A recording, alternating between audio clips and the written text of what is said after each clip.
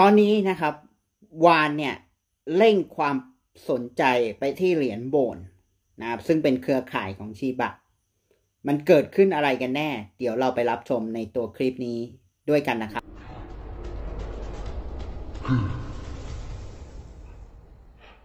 เข้าถึงเหรียญต้นน้ำด้วยเมกะสวอป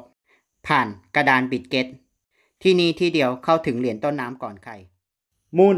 ไปด้วยกันกับช่องคอยนิวมูลนะครับ วันนี้เรามาติดตามในเหรียญของฝั่งของเหรียญมีมด้วยกัน นั่นก็คือเหรียญโบนนะครับ เกิดอะไรขึ้นนะครับ โดยเฉพาะเหรียญโบน และก็เรื่องของเปเป้นะครับ ช่วงนี้ก็มีการทำพวก Air d r o p มีการแจกอะไรอย่างเงี้ยนะครับแล้วเรื่องของข่าวทั่วไปอะเดี๋ยวเราไปติดตามกันทีละข่าว เอาแหละนะครับ ท่านใดที่ อยากที่จะได้ดอกเบี้ยในการ stake นะครับ ผมก็แนะนำกระดาน Bitget นะครับ มีหลายตัวที่เล่นแล้วดอกดีๆนะครับ ก็สามารถเข้าไปศึกษาในตัวของแอปพลิเคชันได้นะครับ staking หรือ saving ไว้นานๆก็ได้ ตลาดกระทิงมาว่ากัน ถือว่าเป็นการกระจายความเสี่ยงอีกทางหนึ่ง หรือจะมีการซื้อเหรียญ BGB นะครับ ซึ่งเป็นเหรียญของกระดาน ซึ่ง กระดานบิตเกตอยู่ที่ 13ถึง20 นะครับ ของ Coin Market Cap ก็ถือว่าอยู่ในแรงที่สูง แล้วพอตลาดกระทิงเราค่อยมาว่ากัน โอเคนะครับ เราพูดถึงตัวของโบนนะครับ ตอนนี้มีเงินนะครับ ลงทุนถึง 4 ล้านนะครับตัวนี้ ก็เนื่องจากว่า ได้ซื้อโทเค็นโบนประมาณ 259,000 เหรียญนนะครับ เทียบเท่ากับประมาณ 209,000 ในปัจจุบันข้อมูลนี้มาจาก Etherscan Explorer นะครับ นักลงทุนนี้นามได้ซื้อโบน เพราะโบนตอนนี้ราคาถูกสุดละ รอจังหวะนะครับว่าเมื่อไหร่ ที่ Federal Reserve จะมีการลดอัตราดอกเบี้ย แต่ผมเชื่อว่าโบนจะลงได้กว่านี้ น่าจะกลับลงไปที่ 0.4 ถึง 0.6 ดอลลาร์ นะครับ แล้วก็มีการกระจายไปเหรียญอื่น ๆด้วยนะครับ อันนี้ก็มาจาก u 2 Day ด้วยนะครับ ว่ามีคนสนใจโบนแล้วก็กระจายไปเหรียญในเครือชิบะก็รวมถึงประมาณ 4 ล้านด้วยกัน ข่าวต่อมาเป็นเรื่องของการเผาโทเค็นนะครับ ช่วงนี้มีการเผานะครับ เพิ่มขึ้นประมาณ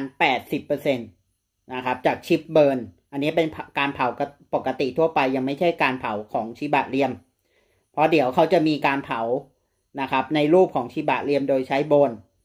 นั่นแหละนะครับ วานเลยเก่งกำไรเอาไว้ คือซื้อใต้น้ำตอนนี้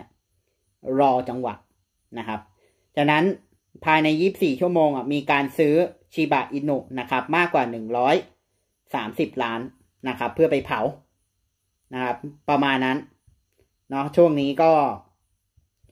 ก็แรงเผาน้อยหน่อยนะครับ แต่ผมเชื่อว่า เดี๋ยวพอจังหวะดีๆเดี๋ยวเดี๋ยวเขาจะมีอีเวนต์เผาใหญ่อีกที ช่วงนี้นะครับ เนื่องจากกระแสสุทธิเนี่ยติดลบถึง 756%ในช่วงเวลาดังกล่าวนะครับ คือ 7 วัน ข้อมูลนี้มันจะ into the block นะครับ จากนั้นผู้ถือครองเนี่ยรายใหญ่นะครับ ก็มีความสำคัญ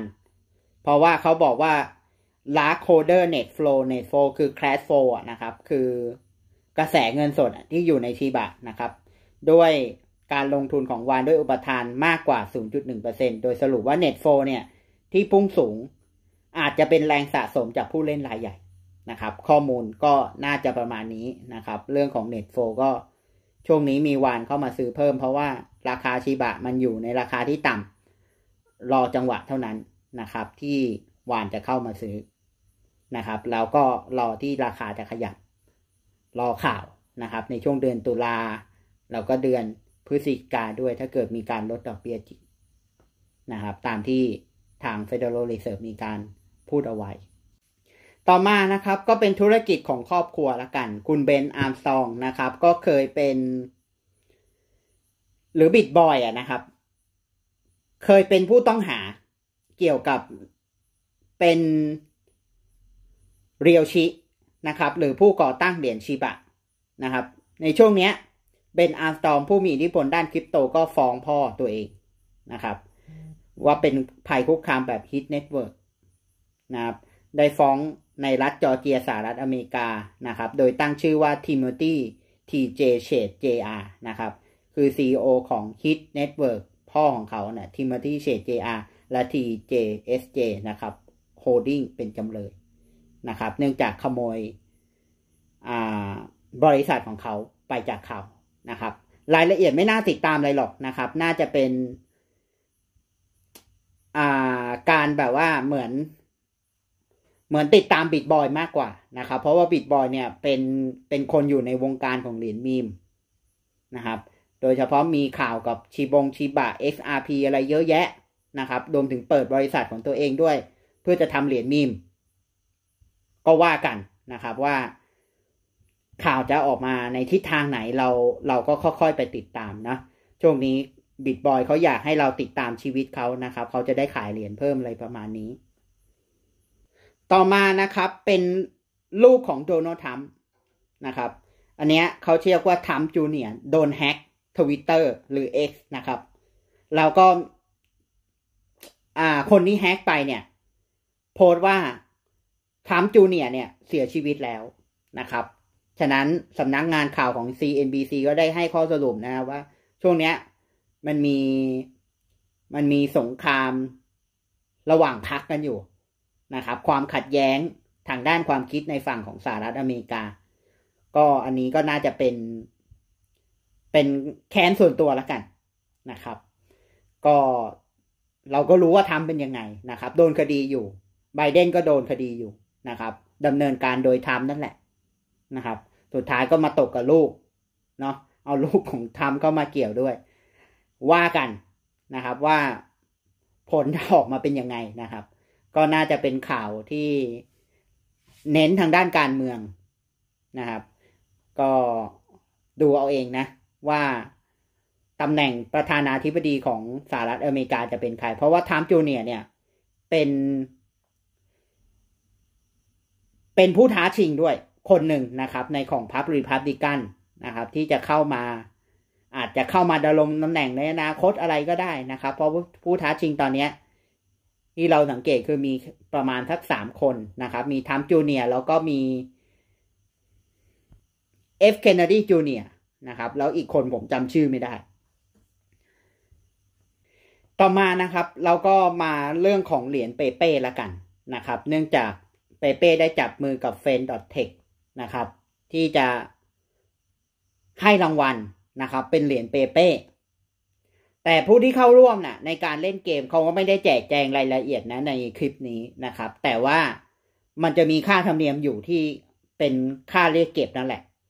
นะครับเราก็เอาค่าธรรมเนียมต่างๆ เนี่ยมารวมกันนะครับ ซึ่งค่าธรรมเนียมเนี่ยนะครับ มากกว่าประมาณ 12 ล้าน ดอลลาร์นะครับสำหรับผู้ใช้ประมาณ 1 6 0 0 0 0 รายนะครับ ที่มาเข้าร่วมในวันที่ 20 กันยายน โดย key ของเปเป้นะใน friend.tech นะครับ เพิ่มขึ้น 966%จากประมาณ 330 ดอลลาร์เป็น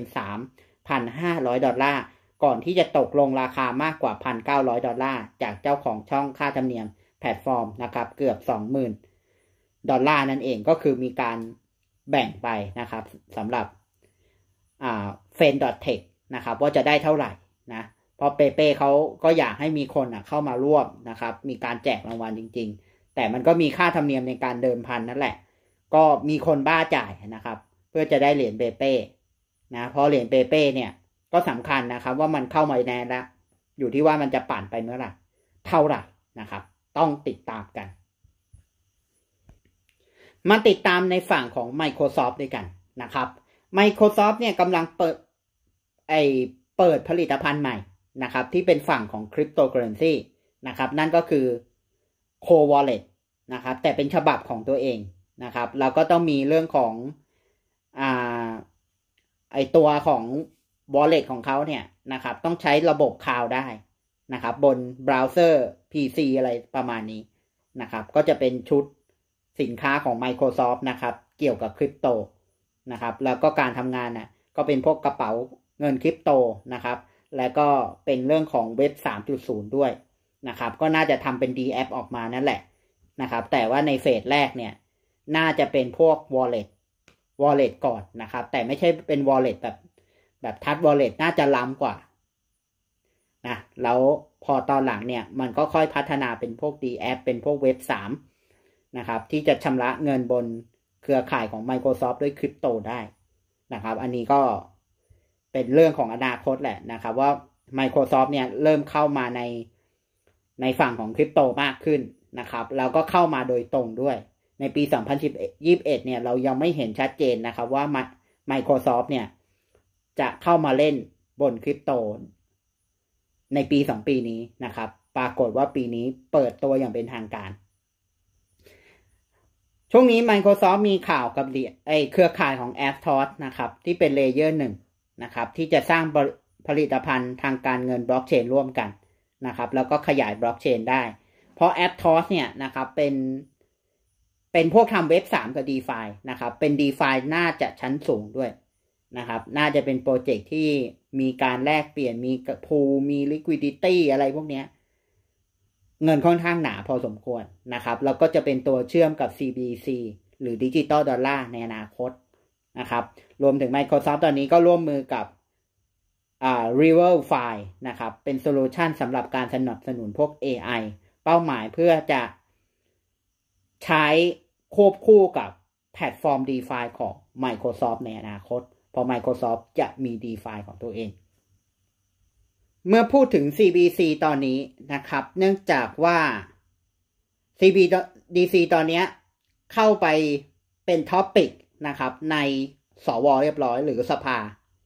นะครับ แล้วก็สภาเนี่ย ทางสวของ Republican เนี่ย ต้องการจะหยุดยั้ง CBC นะครับ เพราะว่ามันมันจะไปคาบเกี่ยวกับเรื่องของความปลอดภัย security นะครับ การใช้ชีวิตในการเงินส่วนตัว ถ้าเกิดมี CBC เนี่ย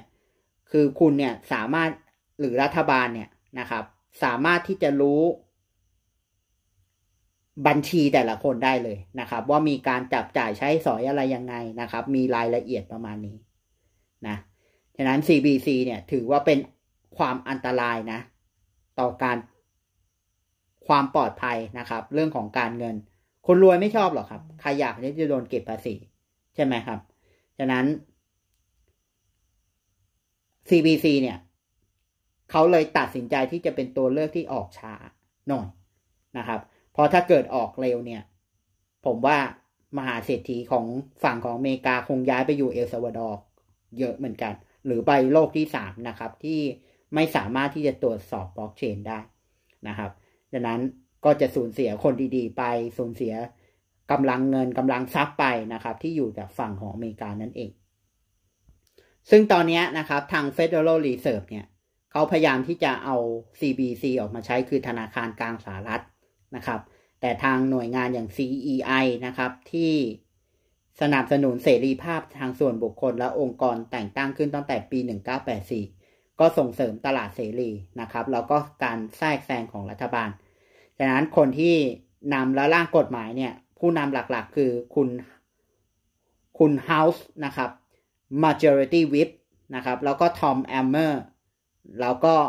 RMN นะครับ ร่างกฎหมายตรงนี้ เพื่อจะหยุดยั้ง CBC เป็นหลักนะครับ ไม่ให้ออกมาเร็วเกินไปโดยธนาคารกลางของสหรัฐนั่นเอง ข่าวต่อมานะครับ ก็เป็นเรื่องของ PYUSD หรือ PayPal USD นะครับบายบิตก็ได้ทำการ list เหรียญ PayPal USD เป็นที่เรียบร้อยนะครับ ก็น่าจะมีการซื้อขายกัน ก็รายละเอียดสามารถไปตามได้นะครับว่าตัวของ PYUSD เป็นเหรียญของ PayPal ทำมารายละเอียดอะไรเราทำคลิปนี้ไปแล้วนะครับ รวมถึง รวมถึง Bybit นะครับ ก็มีการ list stablecoin ตัวนี้อีกหน่อย น่าจะมีการเพิ่มคู่เทรดนะในของ PayPal USD ตัวนี้นะครับ น่าจะมีคู่เทรดของคริปโตมากขึ้น นะครับ เพื่อจะขยายวอลลุ่มหรือ Market Cap ของ PYUSD ข่าวต่อมาเป็น Walmart นะครับ วางแผนที่จะขยายกลยุทธ์เกี่ยวกับเรื่องของ Metaverse นะครับ ฉะนั้นกลยุทธ์ของแรกอันแรกของเขาเนี่ย ก็คือเรื่องของ Metaverse นั่นแหละนะครับ ฉะนั้นเขาจะขายสินค้าบน Metaverse เนี่ย เขาจะต้องจำลองออกมาให้เสมือนจริงนะครับ เพื่อจะสามารถดูเวอร์ชั่นจริง ๆ ได้ในการ ซื้อนะครับ เกี่ยวกับที่ดินของ Metaverse ก็คล้ายๆกับของชิปนะครับ เมื่อปี 2022 ที่เปิด Metaverse มานะครับ เราให้คนเข้ามาจองนะครับ ตรงนี้ก็ทาง Walmart เขาก็ได้วางแผนเพื่อจะขาย Metaverse นั่นแหละ หรือเข้าไปในอุตสาหกรรมของ Metaverse มากขึ้น โอเคครับ มาฝั่งของ Google Cloud ด้วยกันนะครับ ก็เนื่องจากว่า